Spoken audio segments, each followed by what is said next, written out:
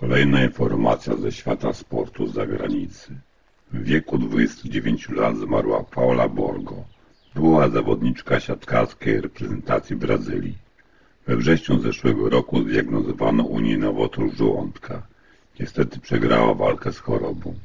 9 maja opublikowała ostatni post w mediach społecznościowych, dziękując swojemu mężowi za wsparcie.